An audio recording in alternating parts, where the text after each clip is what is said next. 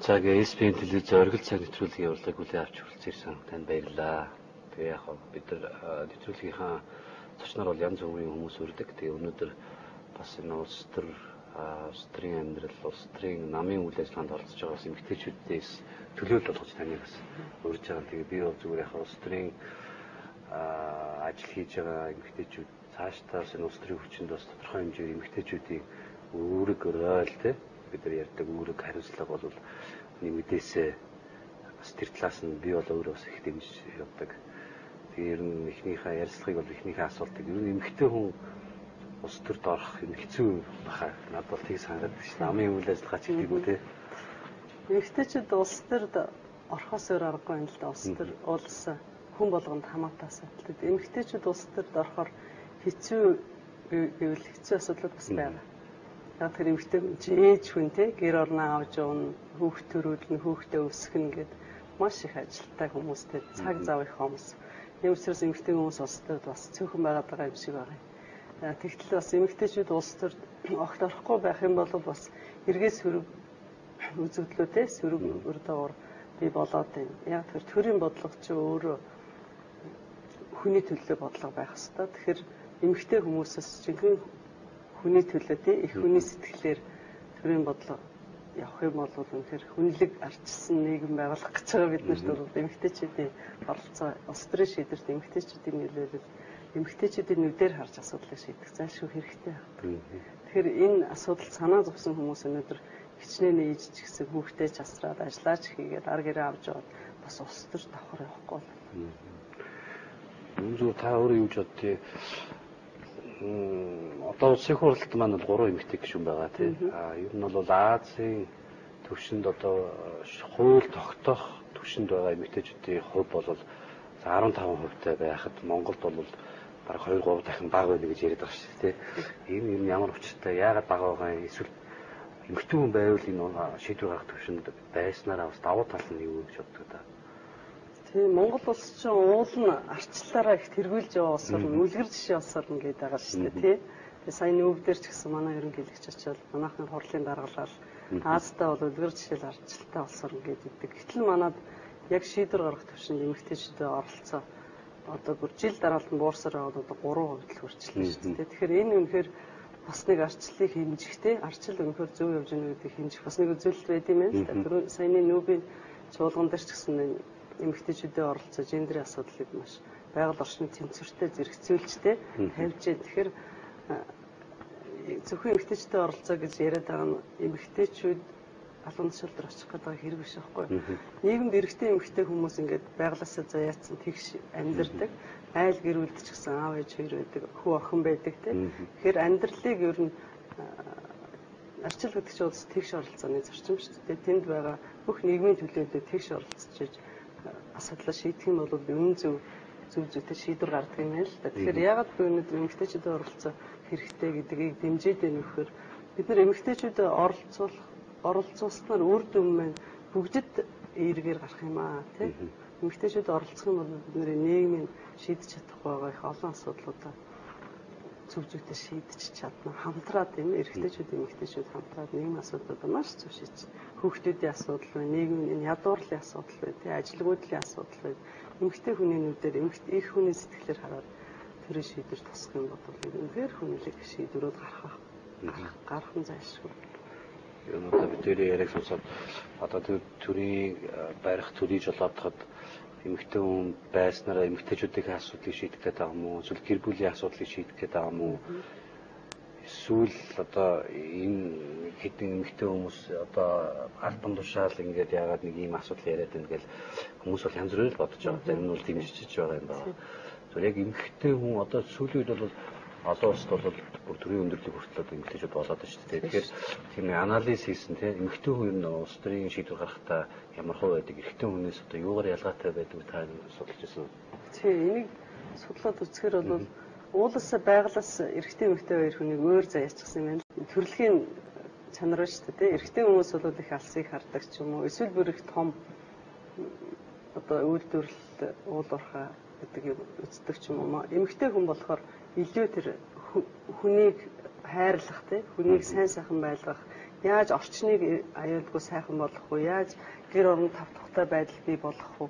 Мөн одоо санхүүгийн нөөцийг яаж үр ашигтай зарцуулах гэдэг юм уу? Ийм нарийн чимхлөөр тэгсэн гэрнээ амьдралд маш их ач холбогдолтой юмнууд төр эмгтэй хүмүүлээс байгалаас заяасан тийм аяастай байдаг юм тэгэхээр би юу хэлэх гэдэг нь хэрэг нэгэнт Монголын эмэгтэйчүүд 51-ээс дээш шүү дээ нийт хүн оны. Тэгэхээр бид нар монголчууд цөөхөн 2.7 сая хүнтэй байж бид нар энэ нөөцийг бүрэн дүр ашигламаар байгаа байхгүй юу. Гэтэл бид нар 50%-ийнхаа одоо нөөцийг хасчаад тий зөвхөн 50%-аар шийдвэр гаргаад явах юм бол бид нэг төлөлтөд доглоо юм шиг л явж байгаа гэсэн үг шүү дээ. Тэгэхээр бид нар цөөхөн учраас хүн амынхаа хүнийхээ тэр нөөцийг, хүнийхээ оюуныг, хүнийхээ тэр чадамжуудыг бүгдийг бүрэн дүр ашигламаар. Тэгэхээр тэнд эрэгтэй эмэгтэй байна уу те? Ер нь асуудлыг хийн шийдвэл яаж шийдвэл хамгийн одоо монголчуудад оновчтой өөр ашигтай байна гэдэг тэр талаас бол бид нар хандмаар байна л. Тэрнээс эрэгтэй эмэгтэй гэж ялгуурлаа те хуваагдаад байгаа юм байхгүй шүү дээ. Тэгэхээр би нөөцөл бүр бүр ашиглая гэж. Ер нь эмэгтэйчүүдийн шийдвэр гаргах төвчөнд очиод эмэгтэйчүүдийн асуудлыг шийднэ гэхээр бид өнөр бол өнөөдөр Монголд яг эмэгтэйчүүдийн асуудал маань өөр хаягдсан байгаа гэж тий гэж ойлгож болох уу? Гэхдээ би эмэгтэйчүүдийн асуудал хаягдсан гэхээсээ илүү төрийн бодлого рүүгээ чиглэсэн байж чадахгүй. Яг тэгэхээр тэнд Монгол улсын цөөхөн хүн ам тий цөөхөн гэр бүл байгаа шүү дээ 500 мянга орчим гэр бүл байгаа. Энэ 500 мянган гэр бүл аз жаргалтай сайхан амьдарчих юм бол Монгол улсын өнөөдөр диважингийн сайхан аз жаргалын орн болох гэдэг шүү. Тэгэхээр бид нэр ерөөсө төрийн ямар ч бодлого байсан бид нэр гэр бүл рүү хандсан. Тэ яаж тэр гэр бүлийн гишүүд ажилтай байх вэ?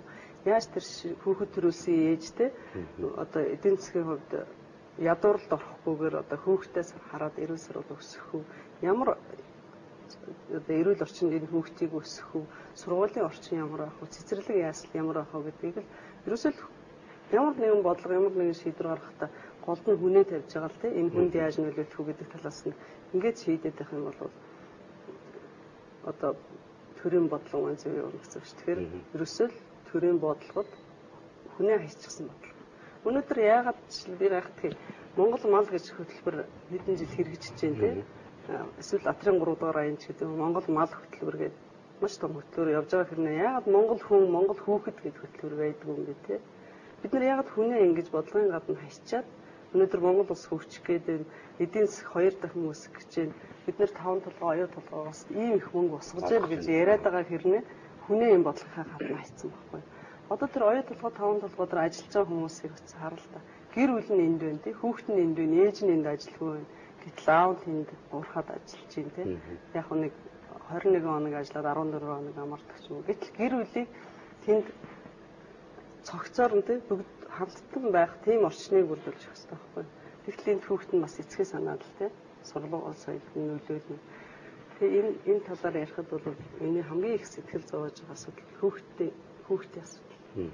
Хүүхдтэй эмэгтэйчүүд хүүхдийн асуудал ярихад эмэгтэйчүүд заавал хамт болчиход байна л да. Ээж нь юм чинь тийм.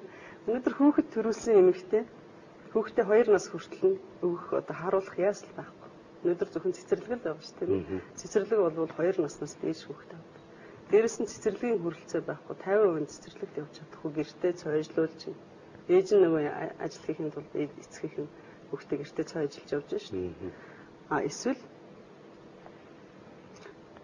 цэцэрлэгт өгөх эсвэл цойжлох эсвэл хүүхдээ араа гэртээ суух юм хувилбар үлдчихэж шүү дээ. Хүүхдээ араа гэртээ суух юм бол мэдээж ядуурлал өртөн тий. Орлохгүй хүн чинь хэцүү шүү дээ. А 0-оос 2 настай хүүхдтэй ээжүүд бол үнэхээр ядуурлал орчих хүнээс хараат болж байна. Эдийн засгийн ямар ч тийм өөрийн тийм эрхчлээ байх шүү дээ. Тэгэхээр үнэхээр ядуу ээж өсгсөн хүүхэд ямар байх вэ гэдээ бид нэр бодъё л да тий. Тэгэхээр хоол тэжээлийн нутагталд орно тийм ээ. Тэр хүүхэд эрүүл байх уу, эрүүл өсөж чадах уу? А дараа нь өсөх явцад нь тэр цэцэрлэгээр олж авах ёстой тэр боловсролын асуудал хаягдчих. Их мэтлэн энээс айгүй олон нийгмийн сөргөөр дагаврууд бий болж байгаа байхгүй.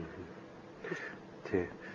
Одоо би бас уншиж уншижсэн л да сүүлийн жилүүдэд 300 гаруй их эндсэн байна гэж төвлөс болоод тэгээд тэрний 70%-ийг нь аврах боломжтой байсан бас бас аимшигтай. Тэгээд 500 мянган өрх байдаг та сая хэлээ. Тэрний бараг 10 гаруй нь өрх толгоос эмгтээчүүд байна тий. Би утгаар бас нэрэл бас энэ асуудлыг бас бодож үзэхээр бас илүү хүнлэг талын шийдвэр гаргах эмэгтэйчүүд бас дуу хоолойгоо энд оруулах ёстой л болчиход байна тий.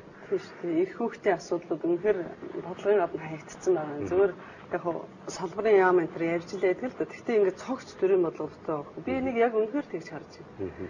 Тэр 76 хүний одоо 73 нэрхтээ хүн байна. Тэр хүмүүс яг тэр бага насны хүүхднэл хүүхэд төрүүлэх гэж юу лээ тэрнийг үсгэх ажил ямар байдаг вүлээ гэдэг үнэхээр мэдэхгүй шүү дээ тийм биеэрээ мэдэрч ижил хүн зовлон байдаг. Тийм учраас эмэгтэй хүмүүс бол бид нар шиг хүмүүс бол би их жишээл 3 хүүхэдтэй. Тэгээд 3 хүүхэдтэй үнэхээр 3 нас хүртэл би гэртээ харсан байхгүй. Яг тэр цэцэрлэг яасал яасал гэж юм байхгүй. Тэгээд өөрөө харахаас өөрөө байхгүй. Гэртээ хараад өсгөл энэ үнэхээр хүнд хөдлөмөр. Яг өнөөдөр бид нэр хүүхдээ төрүүлээ гэртээ сууж байгаа эмэгтэйчүүдийг ажилгүйчүүд гэдэг тийм. Чи ажилгүй хүн биш шүү дээ хамгийн их завгүй.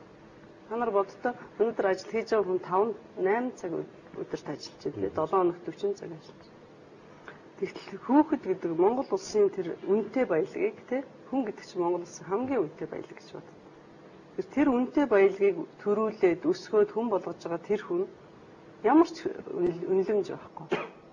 Дээрэс нь цаг наргүй ажиллаж байгаа шүү дээ. Шүн босож ажиллаж, өдөр шүнгүй ажиллаж, тийм ээ ямар ч амралтын цаг байхгүй. Нийгмийн халамж гэж өнөөдөр байхгүй тэр хүмүүс. Одоо сард 24 мянган төгрөг өгч. Тэгэл 24 мянган төгрөгөөр тэр ээж хүүхдээ яаж өөртөө хэрэглээд, хүүхдээ хэрэглээд яаж амьдрах вэ, тийм?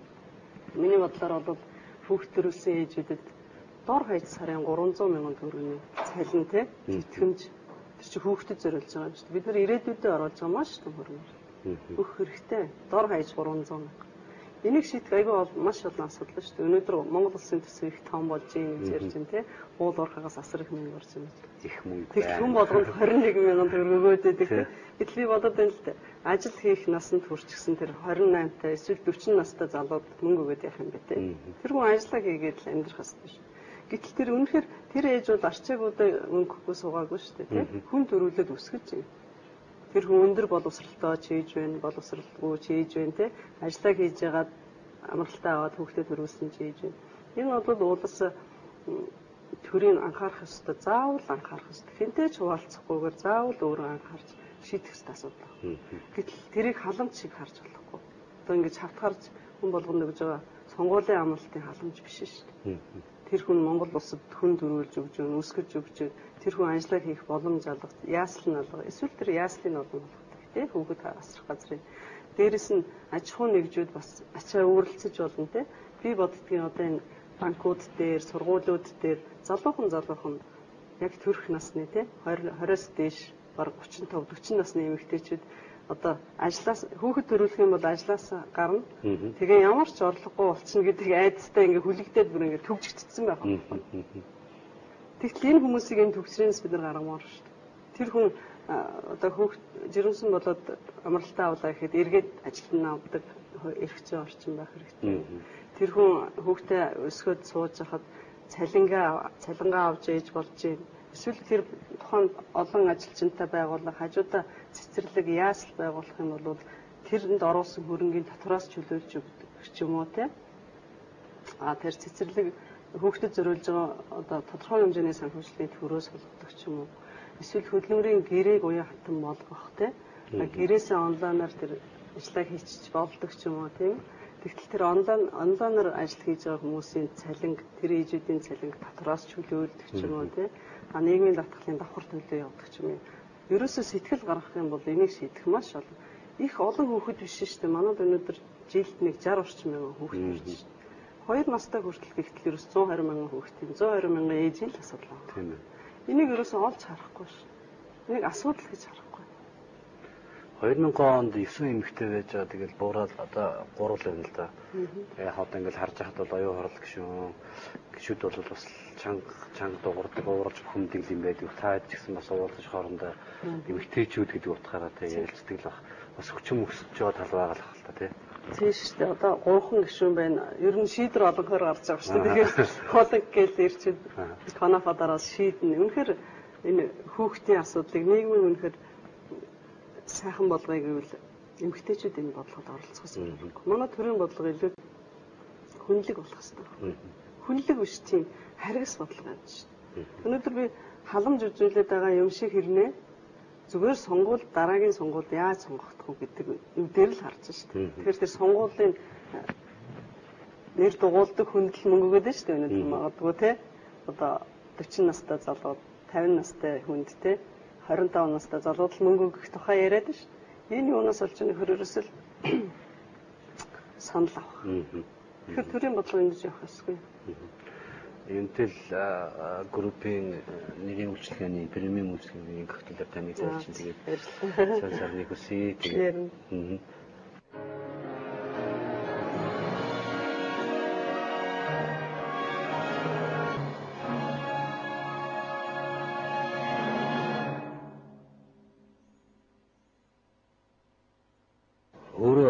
ингээд хойд сургууль төгсөөл төрийн үйлдвэрт бид нар ингээд ажиллаж явж байгаад ер нь ягаад өөрөө бас ингээд улс төрт орохоор болчихоо те бас бизнес хийж юм тэрний хажуугаар улс төрийг яагаад сонирх мөө нэг эсвэл улс төрийг олдохгүй бол улс төр чамаа оролдоно гэдгээр явчихуу эсвэл угаасаа юм нийгмийн идэвхжүүлэлттэй хүн байв те ер нь улс төрөөр оролдохгүй бол улс төр чамааг оролдоод байна гэдэг юм өнөөдөр Монголд болчиход.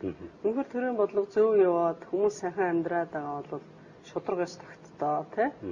Боломжийн байгаа бол магадгүй зарим хүмүүс улс төрт нэг тэгж орохгүй ч байж болно шүү дээ. Миний хувьд бол үнэхээр болохгүй байгааг харж байгаа учраас мэдж мэдэрч байгаа учраас тэрнийг шийдэх арга замууд нь надад боломжийн ингээ харагдаад байгаа учраас би өөр хүүхдийнхээ төлөө тий. Миний хүүхдүүд сайхан ирээдүйд нийгэмд амьдраасаа, миний хүүхдүүдийн хүүхдүүдийн ирээдүйд сайхан байгаасаа. Энэ Монгол улс маань хүн амьдарчаар нэг тийм зөв бодлоготой нэг хүн болгоно тэгш боломж нэгдсэн. Тийм нийгэм байгаасаа гэж хүссэндээ л одоо улс төрөөр явахаас арга голцсон. Тэгээд ингээ улс төрт ороод намын үйл ажиллагаа ч гэдэг юм ингээд идэвхтэй үйл ажиллагаанд оролцоод ирэхээр эмэгтэй хүн гэдэг утгаараа бас хэцүү байх уу юм? Уул нь хэцүү юм байхгүй. Эмэгтэй эрэгтэй хүн чинь хүйсэн л өөр болохоос яг л адилхан хүмүүс шүү дээ. Ижлэх нь ухамсартай, ижлэх нь нэрүүл мэд ижлэх хүмүүс шүү дээ. Гол нь тийм хэцүү байдлуудыг бараг зориудаар шугам бий болгоод шүү. Яг тэгэхээр ус төрийг мөнгөний ажил болгодог ч юм уу те заавал мөнгөтэй хүн дээр улс төрд байх ёстой гэдэг нийгмийн сэтгэл зүг зориудаар өдөөж бий болгоод тэрэн дээрээ дөрүүлээд мөнгөтэй хүмүүс л зөвхөн улс төрд ордог тийм босхуудыг тавьж шээ. Одоо жишээлбэл юу гэдгийг 50 сая төгрөг эхлээд төлсөн байх хэвээр 100 сая төгрөг төлсөн байх хэвээр ч гэдэг. Энд чинь өөрөө маш буруу юм руу төлөх гэж байгаа. Энд чинь өөрөө төрийг сул болгосон. Яг тэр мөнгөтэй хүн заавал бодлоготон байх албагүй шүү. А бодлоготой бодлоготой хүн мөнгөгүй бас байж бас болно шүү дээ. Эрдэм номын мөрөг өсөн хүн байж болно. Эсвэл зөв сэтгэлтэй хүн байж болно. Магадгүй тэр саятан биш байж болно шүү. Дээрэс нь зам мөнгөтэй хүмүүс төрд орчхоор мөнгөтэй хүний нүдээр амьдралыг хараад шүү. Өчигдөр юугаар телевизээр шигсэн явсан. Албан тасалгааны цанхоор амьдрал сайхан харагдаж байна гэх тийм ээ дуу байдаг шүү. Яг тэр шиг өөрөө баян, өөрөө гачигдах юм. Өөрөө тэр хүүхдэд төрүүлчихэд асрагч аваад гэрээ асрагч авчиж чинь гэрээ энч авчиж чинь тэр хүн тэр амьдралыг ойлгохгүй шүү. Тийм бодлого хэрэгтэй тэнд эмзэг хэсэг амьдарч байна гэдэг юус ойлгохгүй байгаа учраас бодлого ярихдаа дандаа том том үлгэр яриад байгаа. Манай цаасан дээр маш их олон үлгэр бичигдсэн ингээд дараастаа гэдэг чинь. Одоо засгийн газрын мөрийн хөтөлбөрт гэхтэл одоо өрхийн сарын дундаж орлогыг сая төгрөгт хүргэнэ гэсэн. Одоо ганцхан жилийн хугацаанд чинь Өнөөдөр гэхэд өрхийн дундаж орлого 420 мянган төгрөг шүү. 50 өвдөж хүрээгүй. Тэгэхээр энийг яаж жилийн дотор ойлгох байна? Ингээд цаасан дээр үлгэрүүд яваад байгаа байхгүй. Тэгээд ажлаад өгнөхөр өөрөө өөрсдөө дүгнждэг. За хөтөлбөр 80%, 90%, 100% хэрэгжлээ. Гэтэл тэнд амьдрал шалгав. Тэрийг тэр баян усууд ойлгохгүй шүү дээ. Миний бодлоор харин тэр шийдвэр гаргах төвшин жирийн иргэдээс орох. Яг тэр тэр хүмүүс амьдрал мэдчихэв. Яг эргэн тантай ижлэх нь амьдарч байгаа учраас тэр хүмүүс яг тэр амьдралыг биеэрээ тоолчихсон. Яг тэр амьдралаар амьдарч байгаа гэсэн. Илүү хөрсөн дээр буусан, илүү Монголын ард түмэн ээлтэй тийм шийдвэрийг гаргана гэж бодчих. 8 онд ч одоо 30% квотын асуудлыг одоо нэгдсэн үндэсний байгууллага гэж манай тусалж дэмждэг донор байгууллагуудын маш олон төлөөллийн бас дэмжлэгээр орсон л доо. Тэгээд цуслагдаад цуглагдах үед нь би бас гайхаж ирсэн. Яагаад ингэж эмэгтэйчүүдийг оруулахгүй байх сонирхол бас байд юм бол юунаас айж бэрхшээд юм бол гэж бодсон байхгүй юу? Яагаад гэдэг юм бол юм? Гэхдээ яг тэр тэрийг чинь авч хаях уу, байлгах уу гэдэг шийдвэрийг бас дахиад нөгөө хөөсийнх нь шийдэж штэ тий. Тэгэхээр бид нар юу гэж хараад байна вэ гэхээр их асуудлыг их том хармаар байна л да бид нар. Гэтэл айгүй явцсан хараад авах. Надад яаж вэ? Магадгүй би энэ тойргоо алдчих юм шүү дээ. Нэг эмгтээд гэдэг ингэ хараад байна л да. Үгүй байхгүй. Асуудлыг маш том хар. Том харах хэрэгтэй. Яг тэр одоо жишээл би зүгээр жишээ хэлээ л дээ. Манай хуулийн дээр цэцэн хууль зөрчиж чинь энэ төр гэдэг асуудал их ярьдаг байхгүй. Эмэгтэйчүүдийг тусгаална, адилхан хүн үндсэн хуулийг зөрчиж. Гэтэл асуудлын гол нь эндээ биш. Асуудлын гол нь эргээд энэний үр дагавар явах байх вэ гэдэг таа байхгүй. Жишээлбэл ерөнхийлөгчд нэр дэвших хүн 40 наснаас дээш байна, 45 наснаас дээш байна гэж хойлон заадаг. Их хурл нэр дэвших хүн 25 наснаас дээш байна гэж заадаг гэсэн байна шүү дээ. Шүүгч хүн ийм байна гэх. Тэр чинь ямар учиртай вэ гэхээр Ерөөсөө ийм насанд хүрсэн хүн энэ албан тушаалыг аваа явж чадах юм аа ч гэдэг. Эсвэл ийм насанд хүрсэн хүн энэ дээр байх юм бол үр сөрөг үр дагавар гарахгүй маа гэсэн утгатай гэсэн үг шүү дээ тийм. Тэгэхээр яг энэтэй ижилхэн эмэгтэйчүүдийн квотыг үнэхээр өнөөдөр ингээд мөнгөний сонгуул болцсон үед эмэгтэйчүүд орж ирч чадахгүй байгаа тохиолдолд квотыг хийж өгөх нь эцсийн үр дүнд л олон гэхдээ нийт ашигтай байх л хувилбар шүү дээ. Тэрнээс яаж хүрэх арга зам чухал шүү. Ерөөсөө л энэ эцэст нь эмэгтэйчүүд байснаар төрийн бодлогыг яаж зөв болгох вэ? Тэгвэл илүү үр дүнтэй маа гэдэг зөвхөн монголчууд биш. Дэлхийн нийтээрээ хүлээн зөвшөөрөд өнөөдөр нэгдсэн үндэсний байгууллага төр хүртэл энийг асуудлыг дэмжиж байна. Олон улсууд олон улс бүгдээрээ дэмжиж. Одоо хичнээн олон улсууд энэ яг квотын асуудлыг квотын асуудлыг суудлах гэхээсээ илүү бас яг одоо нэр дэвшигчийн квот гэхээсээ илүү суудлын квот орчод явж дээ. Тэрнээс бүх арт түмэнд хожно. Тэр хүүхдүүд хожно. Тэрнээс тэр нэг эмэгтэй тэн сонгогдсон нэг 10 хэдэн эмэгтэй ч юм уу те асуудал биш. Энийг их өргөн заргуудад харах. Үрдэн ямар байх вэ гэж бид харах хэрэгтэй.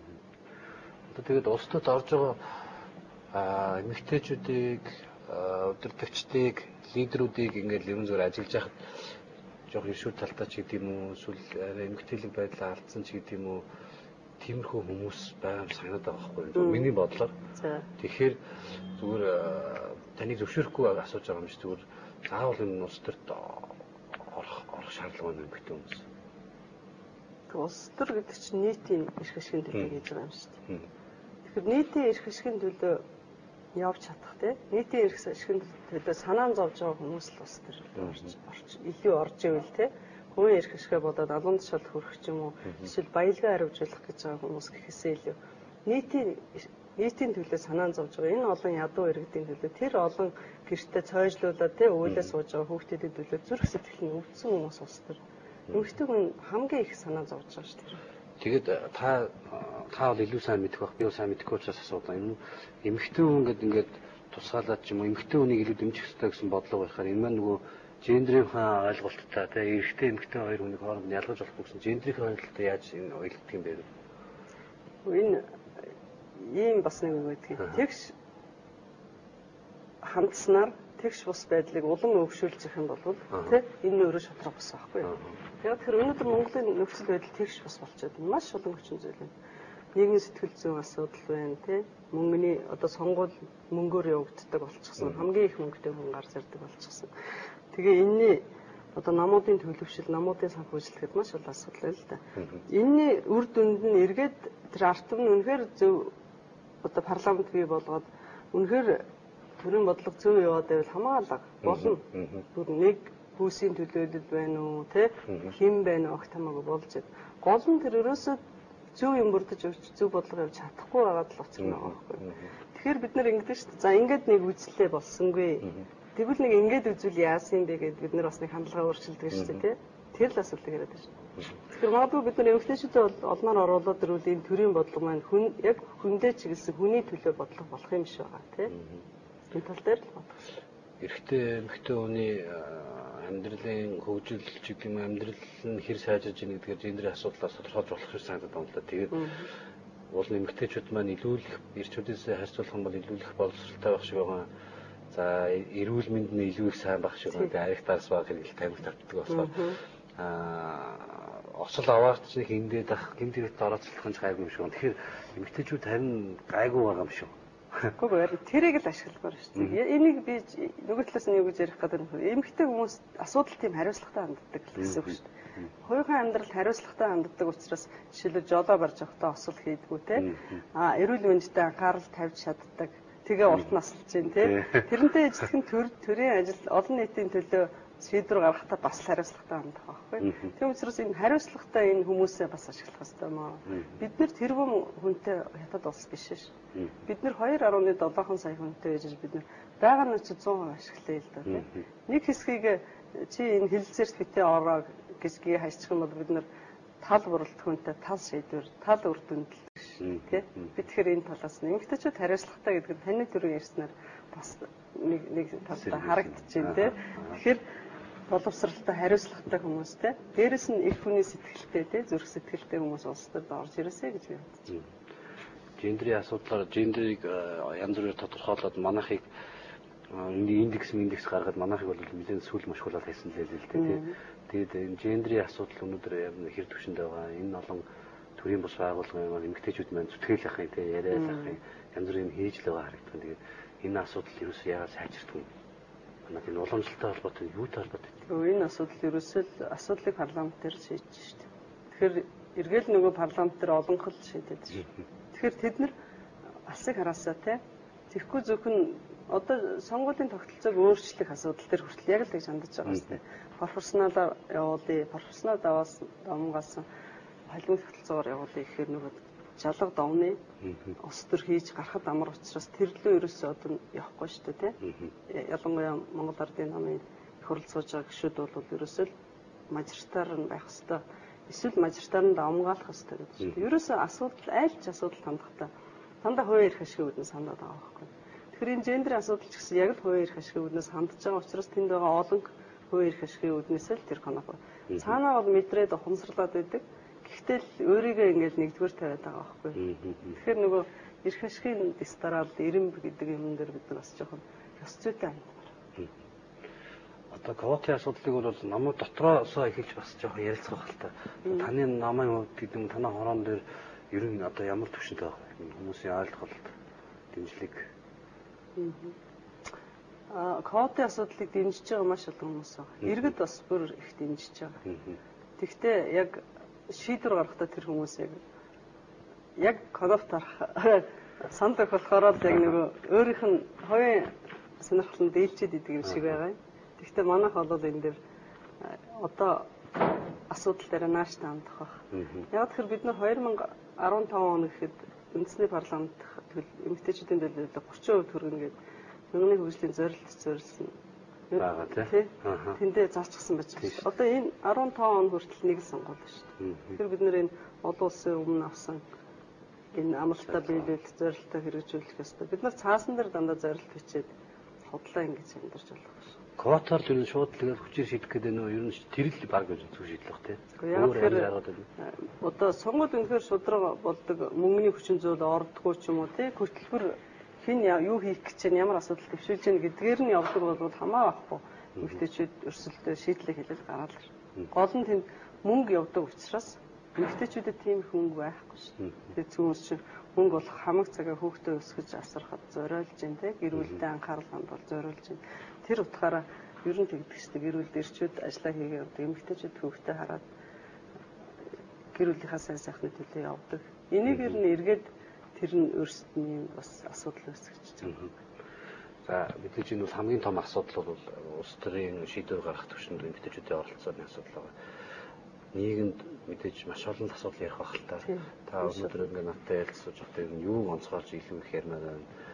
Аа хүчирхийллээс ахуулаад тий одоо тэр хөдөлмөрийн гэрээгүй ингээд тэтгэмж авч чадахгүй байгаа хүмүүс эмэгтэйчүүд өртлөөс эмэгтэйчүүд янз бүрийн хүмүүс байгаа. Тэгэхээр ямар асуудал та юу нацгаач юм өндөр Монголын эмэгтэйчүүдэд түгээмэл байгаа ямар асуудал байгаа гэж та өөрөө бодож харж байна. Монголын эмэгтэйчүүд гэхээс Монгол улсад гэхээсээ илүү Монгол улсад маш тулгымцсан асуудлууд энэ Монгол улсын төсөв тий төсөв үнэхээр хөгжлийн төсөв болж чадахгүй. Бид нар төсөв гэдэг нь одоо иргэдээс бизнес эрхлэгчдээ сурсан татварыг л бид нар нийтийн эрх ашигын төлөө зарцуулах тухай яриад байгаа шүү дээ.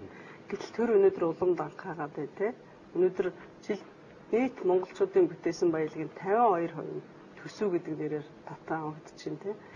Гэтэл энийг яаж зарцуулах вэ? Яг л нийтийн эрх ашигын төлөө зарцуулах хэрэгтэй. Гэтэл өнөөдөр төсөв яаж зарцуулах чинь гэхээр нөгөө л сонгуулийн амлалтыг яаж илэрхийлэх вэ? Хүн болгонд 21 мянган төгрөг өгөхөд өнөөдөр Монгол улсын төсвийн 20% нь явж байна. Гэтэл яг нөгөө халамж авах хэвээр хүүхэд, хөгшөд, тахир дутуу иргэд яг тэр хүндээ очихгүй байгаа байхгүй нийгмийн одоо халамж тэр мөнгө. Би бодож үзсэн л дээ. Одоо 2 настай 0-оос 2 настай хүүхдээ нэг 120 мянга орчим хүүхдэд. За за 300 мянга болий те хөдөлмөрийн өсний доод хэмжээ 140 мянган төгрөгөөр сар болгонд тэтгэмж өгөхөд нэг 200 орчим тэрбум 200 гаруй тэрбум төгрөгөөр жилдээ шаардлагатай. Энийг л одоо жишээлбэл шийдчих юм бол тэр ээжүүдийн асуудал ингээд арай айгуу нааштай шийдэгдэх гэдэг шин. Дээрэс нь мөнгийг бид нар төсөө үнэхээр хяналтгүй байна. Тэр чинь ард түмний сайн сайхны төлөө зарцуулах хэрэгтэй юм байна. Би өчигдөр сонсоод үнэхээр их гайхчихлаа. Улаанбаатар хотын төсвийн 20% нь зөвхөн нөгөө автосунааны хөнгөлт гэдэг тийм очдог. За яг эзэндээ очиж байгаа бол өөр хэрэг гэхэд эзэндээ очтгүй. Нөгөө нэг хідэн монопол те нийтийн тээврийн компаниуд нь хувааж авдаг. Даргын үзмжээр хувааж авдаг. Гэтэл нөгөө автобусанд суух ёстой хүүхэд хөгшөд өхөөд ирэхээр нөгөө автобусаар чи хаалгаа хааж аваад зогтаачдаг үстэй. Тэгтэл нөгөө яг хүндээ очихгүй гисэн гэрнэ бодолд Улаанбаатар хотын нийт төсвийн 20% гэдэг чинь асар том юм гэж. Гэтэл одоо явган хүний зам ямар байна? Энэ Улаанбаатар хотын утаа ямар байна? Олон хүмүүсийн те ирэх ашиг эрүүл мэнд хохирч. Тэгэхээр энэ төсвийн хяналт байхгүй байна. Төсвийг үнэхээр дур зургаараа зарцуулж байна.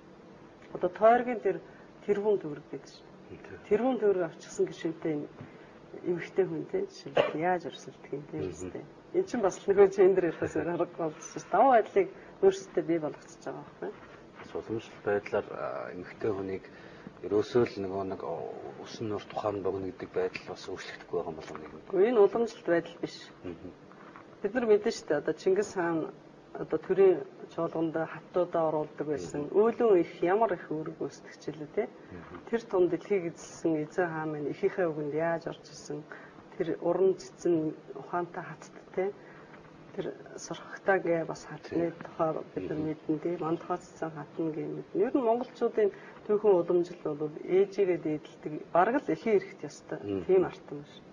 А эмэгтэй хүнийг тэр доош нь хийдэг үзэлчин сүлд манжийн үед орж ирсэн тийм монголчуудыг яаж дарж авах вэ нөгөө дээдэлдэг үнэхээр зүрх сэтгэлээсээ хайрладаг ээжүүдийн эхнэрүүдийн нэгт эмгтээчүүдийн доромжилж иж монголчуудыг буулгаж авсан байна.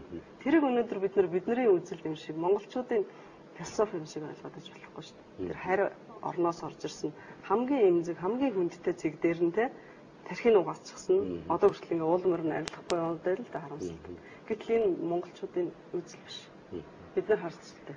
Өөлийн эрхийг те ээжигээ Чингис хаан яаж хүндэлдэг вүлээ те хатныхаа үгэнд яаж мэрэгэн цэцэнтэй ухаантай үгэнд нь ордог бол өнөөдөр ч гэсэн ухаантай эхнэрүүд яаж эр нөхрийнхаа те буруу зөрөг төшилцэж те баг нь олж төшиж ингэж явж байгаа шүү. Тэгэхээр эмэгтэй хүмүүс харин ч би Монголын эмэгтэйчүүдийг их ухаантай гэж үздэг. Яг тэр амьдрал тохиолдож байгаа бүх бэрхшээлүүдийг хамгийн их бэрхшээл зовлон нуруундаа өөрч байгаа. Тэр хэмжээгээр хатуужсан хүний төлөө өөрийгөө бүрэн зориулж чаддаг эмэгтэйчүүд бол Монголын эмэгтэйчүүд. Яг гадаад улс орнуудад Жишээлбэл Монгол эмэгтэйг бэр болгож авахыг дуртай гэж байна. Тэр чи юу гэхээр өөрийгөө бусдын төлөө залиасалж чаддаг. Тийм хатан зоригтой. Дээрээс тийм хүнлэг сэтгэлтэй Монгол эмэгтэй. Өнөөдөр Монгол улсын нийгмийн улсын хөгжил одоо нийгмийн хөгжил гэдэг нь нийгмийн баялагын бүтээлт бол мэдээж эмэгтэйчүүд маань өөр өөрсдийнхөө чиглэлээр салбараар бол асар их хувь нэмэр оруулж байгаа гэж би бодож байна л да. Энэ тал дээр Монголын эмэгтэйчүүд өнөөдөр энэ Монгол улсын хөгжилд яаж оролцож байгаа гэж таардаг. Одоо боловсролын салбар, эрүүл мэндийн салбар гэх мэтлэнтэй. Үйлчлэгний салбар одоо ерөөсө 50-аас дээш байна. Зарим салбарт бүр 80% хүртэл эмэгтэйчүүд байгаа шүү дээ. Одоо эмчнэр, багш нар тий үйлчлэгээний ажилчид гэдэг бүгдээр эмэгтэйчүүд байна. Эмэгтэйчүүд бол өөргөө хангалттай биелүүлж байгаа бизнес хийж байгаа сайхан сайхан эмэгтэйчүүд байна. Олон хүнийг ажлын байртаа болгож байна. Хажуугаар нь гэр орон аваа явж байна. Өр хүүхдээ өсгөж байна. Иргэдээ сургаж юм, эмчилж юм гэдэг. Ингээ бүгдээрээ эмэгтэй хүмүүс асар их өөрөг өсгөж байгаа. Харин ийм байгаа хэрнээ яг шийдвэр гаргах төвшөнд очихороо болохоор байхгүй болчихж байгаа. Тэгэхээр нөгөө энд ягаад гол анхаарал хандуулаад байна вэ? Төрийн шийдвэр зөв байх юм бол олон нийтийн эрх ашиг хүндэс асуудлуудыг шийдээд байгаа ш. Тэгэхээр тэр зөв байх юм бол Монголд маш олон юм зөв болно. Жишээлбэл би тэр 805 тэрбум төгрөгөөр жишээлбэл одоо тараагаад байгаа бидний тараад байгаа мөнгийг үнэхээр харамсаар байгаа байхгүй.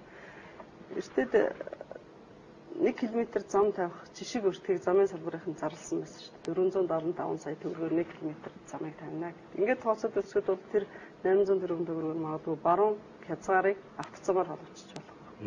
Энэ автоцом гэдэг чинь зүгээр нэг машин яваад байгаа юм гэж харж болохгүй шүү дээ. Үнэхээр тэнд автоцом баригдчих юм бол тэнд байгаа хүмүүсийн амьдрал сайжирна. Магадгүй тэнд тарьсан ногоогоо ганцхан өдрийн дотор Улаанбаатарт оруулж ирэл борлуулж штэ. Тэр баруун хязгаараас одоо эхнүүд л зогсно гэх мэтлэнгээр ядуурл буурна гэдэг. Ингээд бид нар ийм сөөр өөрчлөлтүүдэд тэр төсвийн мөнгийг зарцуулах хэрэгтэй байхгүй. Яаж бизнесийн орчныг сайн болгох вэ те? Төр баг оролцсомор ш. Одоо өнөөдөр төр бизнес эрхлэгчдтэй өрсөлдөх ганц монопол өрсөлдөгч болж байна төрийг хэнд дийлэх юм бэ те бүх бизнесийг төр хийж гэн бүх барилгыг төр барьж гэн бүх замыг төр барьж гэн гэдэг юм уу те гэтэл тэр нь өөрөө ингээд нийгэм баялаг шудраг ус баярлагдах сууг болчиход байна өнөөдөр төр шийдэж тэр 5 тэрбумын тендерийг хэн авах уу гэдгийг шийдэж байна э, өчигдрийн жишээн дээр бас гадны хэвлэл гарсан мэдээлэл гарсан байсан. Одоо Монгол улсын эдийн засаг өсөөд байдаг гэтэл ядуурлан томроод байдаг, баячууд нь бүр сугараад гараад байдаг тийм Тэгэхээр үнэхээр энэ чинь Монголын ирээдүйн мөн үү? Тэ? Дунд давхраг, дундаж давхрагыг олон хөөжээж энэ нийгэм чи өөрөө тогтвортой байдаг. Тэгэхгүй нэг хэсэг нь баян болчоод нөгөө хэсэг нь бүр ядуу болчоод тэр нь ингээ өргөжээд их юм бол нийгмийн тогтвортой байдал байхгүй болж шүү. Тэгэхээр өнөөдөр нийт хадгаламжийн 90% нь хүн амын 5% нь магадч байна. Эндээс л бид нийгмийн баялаг яаж байрлах гэдгийг харж шүү. Тэгэхээр тэрийн бодлого ямар юунд чиглэгдэх ёстой гэхээр ерөөсөө дундаж давхрахыг л олон болгох юмсан тийм ядуучууд зөөнтэй бачууд нь байдаг юм байгаа. Гэхдээ л дундаж давхарх нь маш том байх хэрэгтэй. Энэ нь өөрөө эдийн засгийн өсөлтийн суурь болдог байхгүй. Яг тэгэхээр дундаж давхарх гэдэг чинь эдийн засгийн том хэрэглэгч зах зээл байхгүй. Нэгдүгээр тэр зах зээл, хоёрдугаар ямар нэгэн хямрал болоход тэр дундаж давхарх хизээш хангахгүй байхгүй. Одоо хит ядуурахгүй тий. Ямар нэгэн эрсдэлд өртөх магадлал бага учраас нийгэм маань маш тогтвортой юм. Энэ чинь л өөрөө одоо тухайн улс үндэстний оршин тогтнох гол үндэс шүү. Тэгээд хууль тогтоох шийдвэр гаргах төвшөнд эмгтээчүүдийн байгууллага одоо олон улсын байгууллагууд нийлээд одоо цаашдын алхам одоо бодитын үр дүнд хүрэхэд одоо юу төсөлж байна юм? Бодитын үр дүнд хүрэхэд нийгмийн сэтгэл зүй дээр бас их өөрчлөлт хийх хэрэгтэй байна. А шийдвэр гаргагчид маань одоо асуудлыг ухаарах те зөв шийдэх цаг нь болсон. Бид нар ингэж л яваад ах юм уу те? Буруу гэдгийг мэдсээр ингэж л яваад ах юм. Тэгэхээр шийдвэр гаргагчдад бас их асар их найдвар тавьж байгаа байхгүй тий. Бид тэр Монгол улсын хөгжил Монгол улсын сайн сайхан ирээдүй зохицлоо бүтээх тэр хуулийг тэр системийг тэр механизмыг суулгахад Монголын эмгтээчүүдийн эмгтээ хүний нарийн торгон мэдрэмж хүнлэг сайхан сэтгэл хөнрөөгөө чиглэсэн бодлого заавал тутна байх гэж би зүгээр иргэн хүнийхээ бодож таны санаж байгаа зорж байгаа хэлж байгаа зүйлийг хоёр гараа өргөн дэмжиж байна. Тэгээд Монголын эмгтээчүүдийн төлөө танд танаа гэр бүлд Монголын эмгтээчүүдэд эрүүл их аз жаргалыг үзэгчдийнхээ өмнөөс телевизийн хамтлагийн өмнөөс хүсье. Тэгэхээр Монголын э, ярилцлагууд ингээ урьж ийм сайхан газар ярилцсанд баярлалаа. Гэхдээ энэ асуудлыг би зөвхөн Монголын эмэгтэйчүүдэд хамаатай гэж хэлэх юм хэлмээргүй байна л да. Нийт монголчуудад өргөшгтэй. Нийт хүн болгоны ээжтэй, хүн болгоно хүүхэдтэй тий. Тэгэхээр хүүхэд эмэгтэйчүүдийн асуудал гэр бүл болгонд хамаатай асуудал, Монгол бас хамаатай асуудал. Эмэгтэйчүүдийн шийдвэр авах төвшөнд одноор орсноор нийт монголчууд л хож. Тэрнээс хин нэг нь эмэгтэй очихгүй л гэж байлаа. Баярлалаа.